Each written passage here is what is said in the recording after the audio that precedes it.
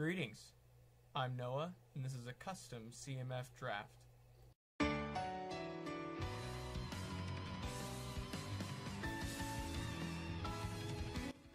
A very special one, in fact, because for one, I have been through puberty. And two, today, November 11th, marks three years to the day since my very first YouTube video on this channel, the Doctor Who CMF series. That is a pretty big milestone, if I do say so myself.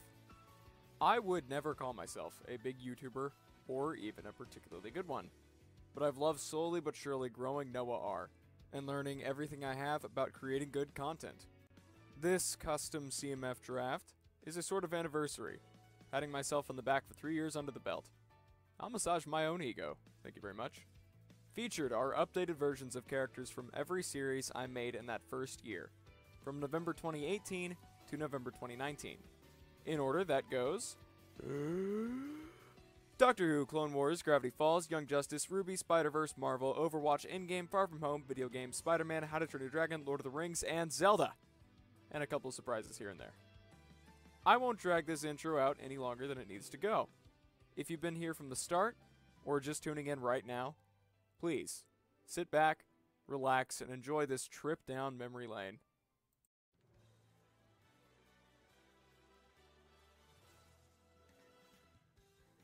Trip you up already, didn't I? It might surprise you to learn that the first CMF series I made, even before Doctor Who, was based on the little known Origami Yoda series, of which I was and still am a fan of. They look dumb at first glance, but they're much better than you might expect. Dwight Tharp is the main character and wielder of Origami Yoda himself. He was the first one I've updated of this group. For those who have read the series, you'll recognize his windy shirt and, of course, the little Origami Yoda puppet.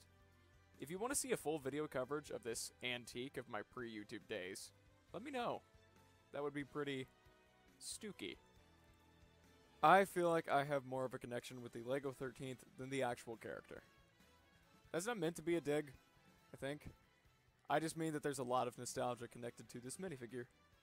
The Doctor Who video is what truly started me on my weird, just insane hobby, and I have this character to thank. As for the update, and with pretty much every update here, you'll notice much cleaner lines, and in my opinion, better part choices.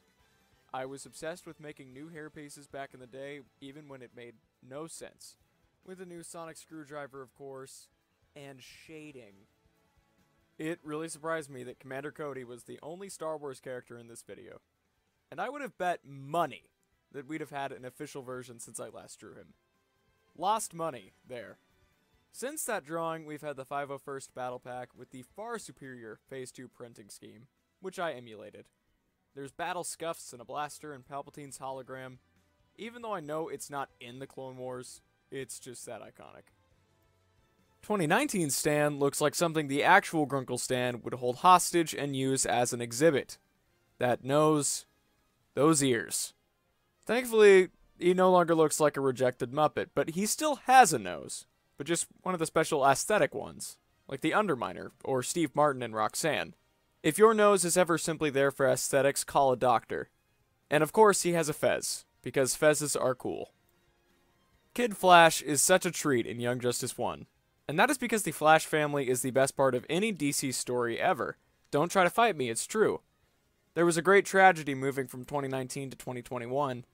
Wally lost his popcorn bucket so he can no longer drown his sorrows in food. Sometimes we suffer for our art. In repayment, he does have a better shaped hair and mask piece, but, you know, it's just not the same. Another trip to the system is that I drew the Spider Verse series in October 2018, just after the second trailer released and yet I didn't post it until February. Why? I was lazy. Updated Miles shares a lot of features with the Mech Miles from the beginning of the year, like the hood and the big person legs, but with accurate designs and colors to the movie itself. And he's got a web to swing through Midtown and web those bad guys down. Peel, this one's for you.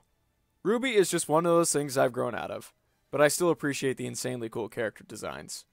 It was great taking another swing at Ruby Rose after all these years. The biggest change? The absolutely massive Crescent Rose, of course. And credit where credit is due, Casper Cat on my Discord was a huge help when it came to designing this thing. Definitely a weapon befitting a huntress. And definitively, Wanda Maximoff is my favorite Avenger. She wasn't when I drew the comic version, which is clear. To create a new version befitting of the title Scarlet Witch, I decided to take the official headdress from the CMF figure, which I personally think works even better on this iteration.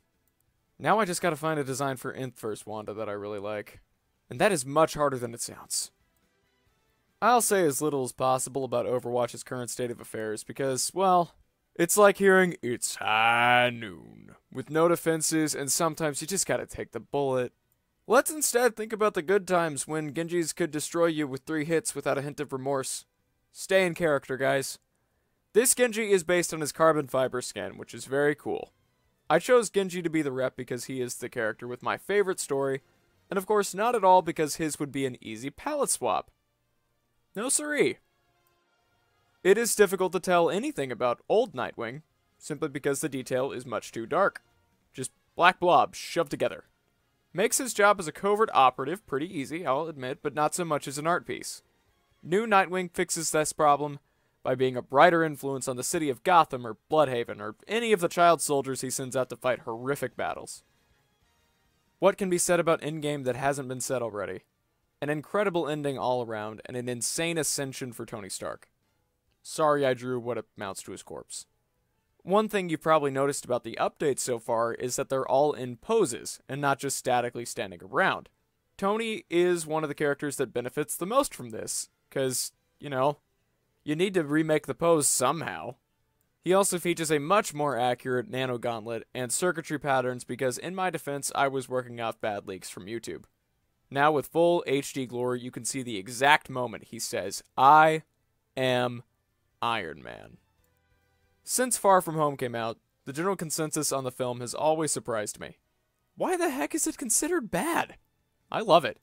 And in no small part due to Quentin Beck, who is Mysterio, and I'm the biggest Mysterio fan there is. Beck was one of the most interesting figures, and in an admittedly uninteresting group.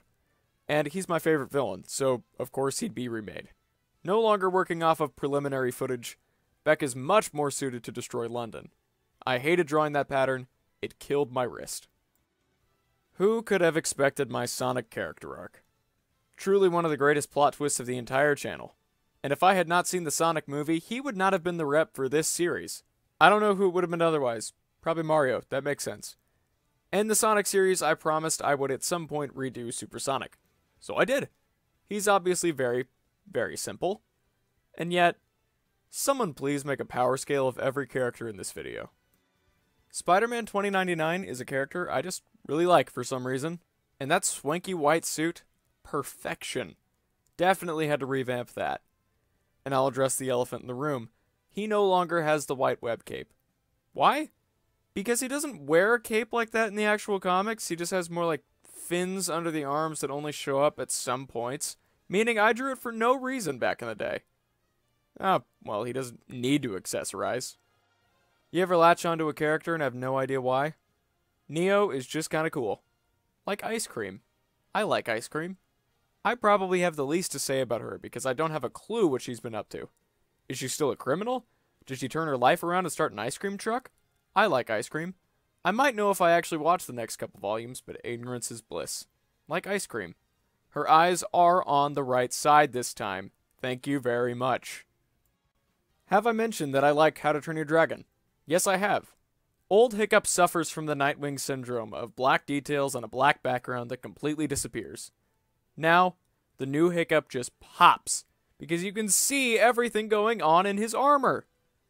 I will be completely honest. This one made me tear up a bit drawing it. Hiccup means a lot to me as a character, and I'm so glad to have finally done him justice. This one nearly killed me. Sauron, the enemy of the free peoples of Middle Earth, has no style, nor he has no grace. Why wear such finicky armor, huh? Insecurity much? I think the shading really shows through now, especially since his armor is supposed to be shiny and not just flat like that. This guy took at least three hours to draw, and I hated every second of it. Link was, in many ways, the start of a new era for me. The gaming era, I suppose. Zelda was the first Nintendo franchise I really dove into, it's still my favorite.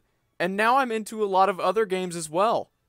I can now recognize everybody I drew in the gaming video.